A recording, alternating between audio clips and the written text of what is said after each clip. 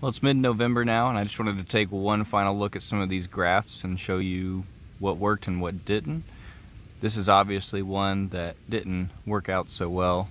You can see that the graft has actually pulled itself away from the trunk. There wasn't enough pressure in there in order to hold it tight, so it's kind of detached on this side. So it's not a fully successful graft at least.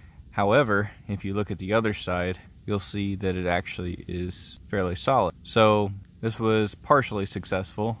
It may grow itself in a little bit better over time.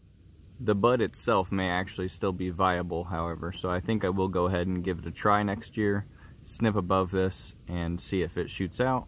If it doesn't, I'll go ahead and graft a little bit lower on the trunk. This one looks pretty good. It's healed over on both sides, and it seems to be connecting itself in fairly well to the tree. So I must have got a better connection of the cambium layers on this one. So this will be a great candidate next year to go ahead and snip off and see if that shoots out. Here's another one that turned out fairly well. Has a good amount of healing on both sides. Just hope that the uh, bud stays good over winter as well. This one here didn't work out. It's not connected on the top or on this side here and uh, the other side is connected slightly and so is the bottom but not enough that I think it's gonna hold for the winter time.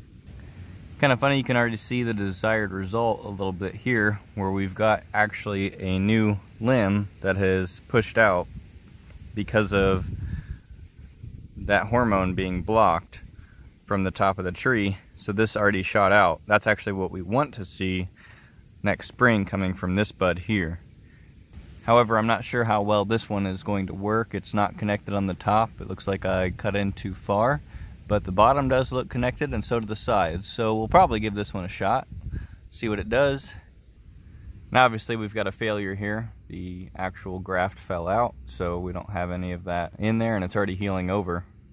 So this one we'll go ahead and whip and tongue graft in spring and get that going.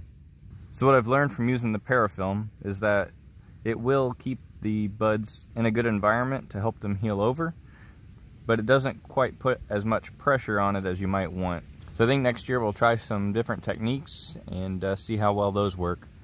But we'll catch up with this project again in the spring when it's time to plant some of these out a little bit further and uh, do some more grafting. Thanks for watching.